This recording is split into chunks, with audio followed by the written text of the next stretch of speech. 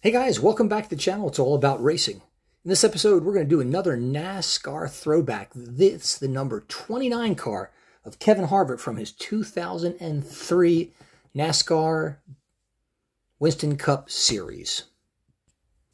Now guys, this is a 124 scale Chevrolet Monte Carlo done by Action Elite, considered one of the best diecast makers, you know, quite frankly, in the world at that time, particularly in the uh, in the NASCAR series. Now, to kind of start his career off in the upper level series, he I'm going to forego his truck series uh, uh, history because there's just too much to cover. But he was the 2000 NASCAR Busch Series Rookie of the Year and the series' most popular driver. Uh, in that series, or what they call the Xfinity Series, he won 341 races over 21 years.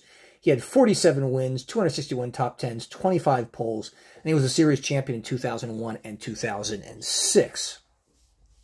Now, in 2001, he became the NASCAR Cup Series Rookie of the Year and competed to date. And I believe he may have retired this year in 2023. I'm not sure because I don't follow NASCAR anymore, but I think he might have. Guys, if I'm right, uh, correct me. If I'm wrong, correct me, whatever. But he ran 803 races over 23 years. He had 60 wins, 442 top 10s, 31 poles, and he was a series champion in 2014. This year, in 2023, he was named one of NASCAR's greatest 75 drivers. Congratulations, Kevin. He's not even retired yet, or he may be. In 2007, he won the Daytona 500, and he holds the record for the most wins at Phoenix Raceway with nine wins. And his 121 combined National Series wins rank him number three all time behind Richard Petty and Kyle Busch. And his 60 Cup wins rank him 10th in the series history. And he is currently the longest tenured active driver in the Winston Cup Series. And to preface that, I remember him in 2001 because he replaced Dale Earnhardt Sr. following his, de- last, his death in the last lap of the series opening Daytona 500.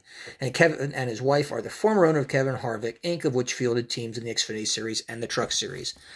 Guys, this is really a nice uh, model here by Action. Um, of note, I particularly like the way the front end is beveled. I consider, you know, quite frankly, almost all the NASCAR cars to be pretty ugly because they're they're based on sedans. Let's face it, they're not thoroughbred race cars, and they're all cookie cutter. They're all frames with a shell that looks like it's a race car, but that's about it.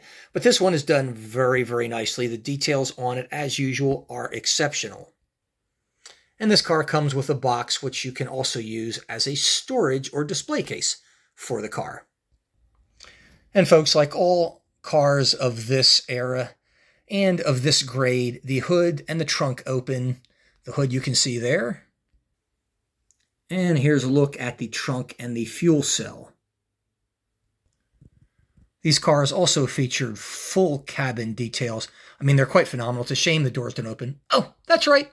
These are NASCAR cars. The doors don't open. And the bottom of the cars are absolutely amazing. I mean, look at all this phenomenal detail. You have suspension that works on it. You have a drive shaft that does actually turn, and the wheels do steer.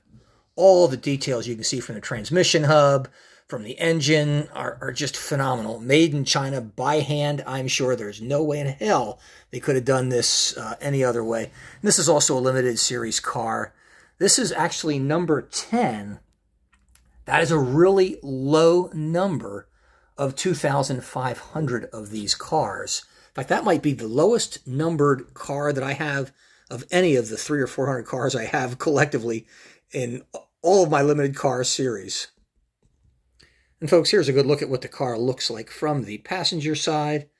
And we'll scroll up front and you see the number 29, you know, visible for the spotters, you know, at a distance, as is typical of these cars. And folks, that will conclude this particular episode of It's All About Racing. Thanks for joining. See you next time.